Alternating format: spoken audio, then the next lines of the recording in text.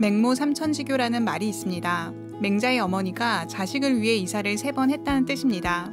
교육에 있어 그 환경이 그만큼 중요하다는 의미입니다. 대한민국은 과거부터 교육에 대해 아주 관심이 많은 나라였습니다. 교육은 국가의 백년 지대계로 생각하여 국가의 근간이 된다고 생각하였습니다. 대한민국의 도시 중에도 교육의 도시로 불리는 도시가 있습니다. 대전광역시, 청주시를 비롯한 진주시, 공주시 등 교육이 도시가 성장하는데 큰 역할을 한 도시들입니다. 서울특별시는 대한민국의 정치, 경제, 행정을 비롯한 다양한 분야의 중심지입니다. 교육 분야도 대한민국에서 가장 발전된 도시입니다. 서울은 2019년 전 세계 도시 중 가장 좋은 교육 도시 10위에 선정될 만큼 전 세계 도시 중에도 높은 수준의 교육 도시입니다. 하지만 오늘은 국가의 성장을 위해 아니면 도시의 성장을 위해 교육이 도시 발전의 근간이 된 도시들에 대해 한번 알아보겠습니다. 먼저 교육의 도시하면 가장 먼저 떠오르는 도시가 바로 청주시입니다. 청주시는 예로부터 깨끗하고 수준 높은 교육의 도시로 알려져 왔습니다. 청주시를 교육의 도시로 부르는 데는 몇 가지 이유가 있습니다. 신라시대에는 오소경 중 하나인 서원경이 청주시에 위치해 있었고 전국 단위의 수준 높은 교육기관을 청주시에 설치, 운영해 왔습니다. 고려시대에는 신라시대의 교육을 이어받아 공민왕이 청주에서 수개월씩 머물면서 전국 단위 과거 시험을 실시했다는 기록도 있습니다. 조선시대의 전국에서 가장 이름난 향교는 청주 향교였습니다.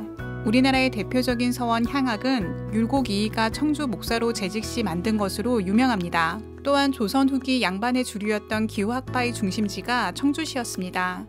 기후학파의 수장인 송시열이 당시 청주 목에 있었습니다. 현대에 들어와서는 학생과 교육 종사자가 다른 지역에 비해 월등히 많으며 대학의 수만 13곳으로 인구 대비 교육시설도 다른 지역에 비해 월등히 많습니다. 청주시는 단순히 학교와 학생 수가 많아서 교육의 도시로 불리는 것이 아닙니다. 신라 시대부터 오늘에 이르기까지 오랜 역사 속에서 인재 양성을 위한 노력을 게을리하지 않았기 때문에 교육의 도시라는 명칭을 얻게 되었습니다. 다음은 경상남도 진주시입니다. 진주시도 교육에 관해서는 빼놓을 수 없는 도시입니다. 진주시는 고려 성종 6년인 987년 아주 빠른 시기에 향교가 창건되었습니다. 수도인 개경의 국자감에서는 경학, 의학 박사를 파견할 정도로 진주시를 교육의 중심지로 생각하였습니다. 이러한 진주시의 교육 환경 때문에 조선 초기에 하륜과 정의호와 같은 인물들이 진주시에서 배출되었습니다. 조선 초에는 나라의 인물 반이 영남에 있고 영남 인물의 반은 진주에 있다라는 말이 나오기도 하였습니다. 조선 후기에도 남명 조식 선생의 가르침으로 강우 유맥이 형성돼 수많은 서재와 서원이 생겨나 진주시는 글 읽는 소리가 끊이지 않는 학문의 도시가 되었습니다. 오늘날에도 진주시는 많은 교육기관이 자리 잡고 있어 진주 시민의 약 3분의 1이 학생일 정도로 교육이 차지하는 비중이 높은 도시입니다. 특히 1970년에서 1980년대에는 진주시에서 예비고사 및 학력고사 고득점자가 전국 최고 비율로 나와 온 국민의 관심사가 집중되기도 하였습니다. 실제로 2006년 한 일간지가 우리나라 엘리트 3만 2천여 명의 고향을 분석한 대한민국 엘리트 배출 도시에서 진주가 230명으로 1위에 선정되기도 하였습니다. 공주시도 앞서 소개한 도시들처럼 교육도시라 부르는 것이 다른 지역에 비하여 학교가 많다거나 교육 인구가 많기 때문이 아닙니다. 공주시도 선사시대 이후부터 백제시대까지 문화 창조와 전파가 교육을 통해 이루어졌습니다. 고려 이후부터 개화기에 들어서도 다른 지역에 비해 일찍부터 교육기관이 설립되어 활발하게 운영되어 왔습니다. 이와 같은 교육사적인 변천 과정이 공주시를 충청남도 교육의 거점 지역으로 발전하게 하였던 것입니다. 공주시에서는 우수한 교원 양성을 담당하는 초중등 교원 양성기관이 일찍부터 설립되어 수많은 교육자를 배출하였습니다. 교육 도시로서 지역적 명성이 전국으로 확산되는 계기가 되었습니다. 1922년 공주 도립 사범학교를 거쳐 1938년 4월 1일 공주 여자 사범학교와 1948년 7월 31일 충청남도 도립 공주 사범대학이 개교함으로써 교사가 되고자 하는 전국의 우수한 인재들이 공주시로 모여들었습니다. 공주에서 초등교사와 중등교사 교육을 받은 교사들이 다시 전국의 각 지역으로 흩어져 각 학교에서 우수한 교사로서 능력을 인정받게 되었으며 유능한 교사가 되려면 공주로 가라는 말이 생겨나게 되었습니다.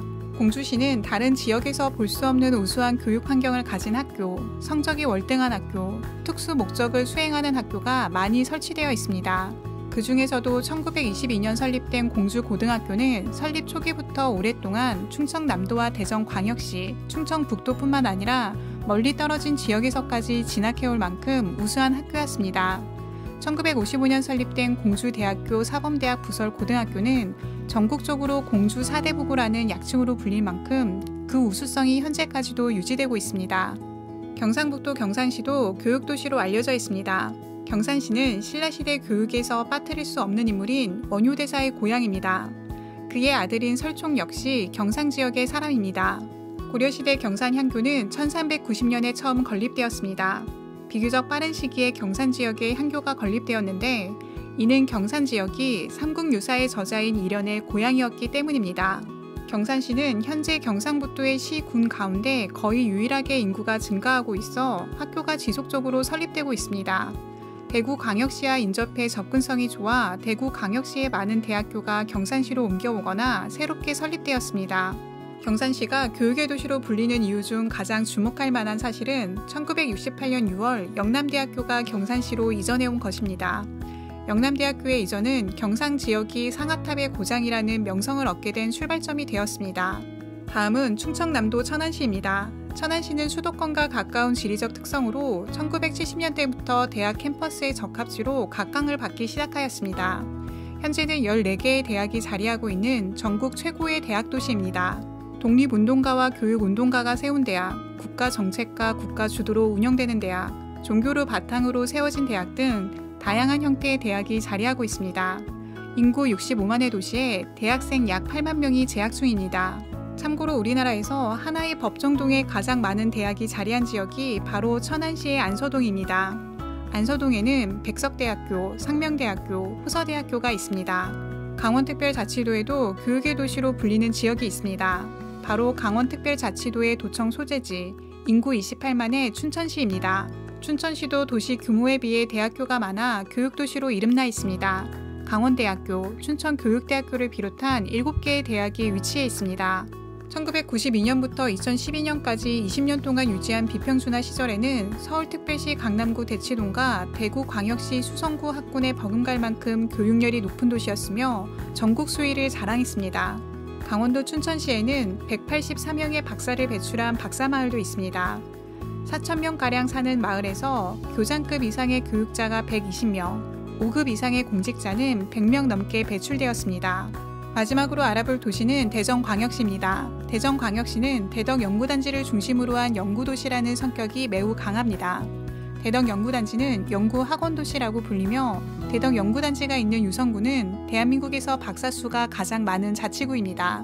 대전광역시는 교육의 도시라고 말할 수 있을 정도로 대학교가 많은 도시입니다. 한국과학기술원, 충남대학교, 한밭대학교를 비롯한 4개의 국립대학교와 9개의 4년제 대학교, 4개의 전문대학이 있습니다.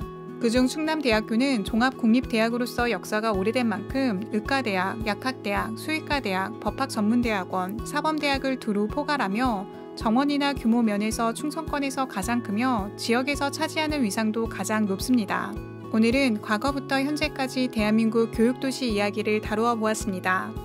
교육이 도시 발전의 근간이 된 도시들이 교육, 연구의 중심지로 활기를 띠고 계속 발전하기를 바라겠습니다. 이상 도시의 과거, 현재, 미래를 이야기하는 도시연구소였습니다. 만족하셨다면 좋아요와 구독 부탁드립니다.